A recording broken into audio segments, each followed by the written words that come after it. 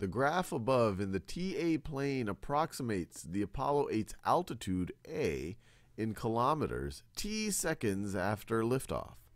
Approximately how many kilometers per second? How many kilometers per second was the Apollo 8 traveling between 156 and 184 seconds after liftoff?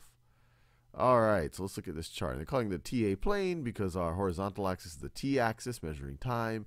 Our vertical axis is the a axis, measuring altitude in kilometers. This is time in seconds. This is altitude in kilometers. Now, they wanted to know well, what was the, how many kilometers per second was the Apollo 8 traveling between 156 and 184 seconds?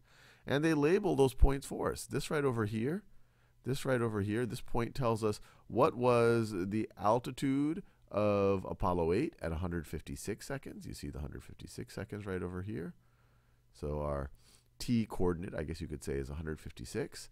And this right over here tells us the altitude at 184 seconds. It's 96 kilometers. At 156 seconds, it's 70 kilometers. At 184 seconds, it is 96. It is 96 kilometers.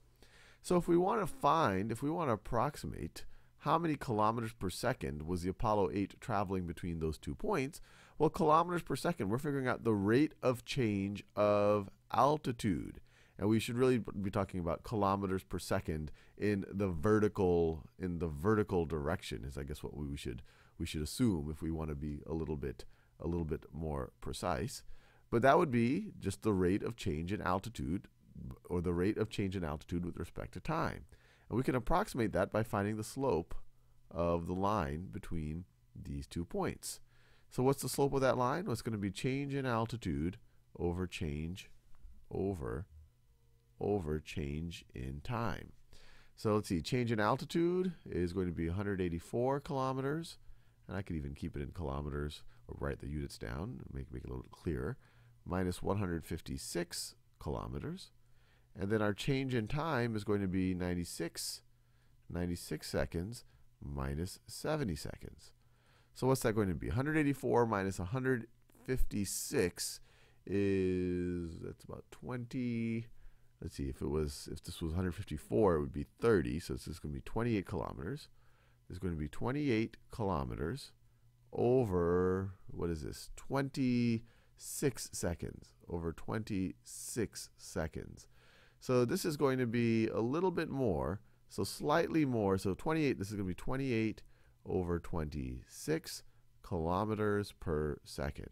So this value right over here, this is a little bit more than 1. 1 would be 26 over 26. So this is, you know, you could view this as 1 and 2 26, or you could write this as 1 and 1 13th.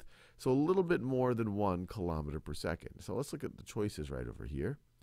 And you look at the choices here, and only one of them is a little bit more than 1. This is less than 1, so you rule that out. This is a lot more than 1, a lot more than 1. So we would go we would go with that one right there.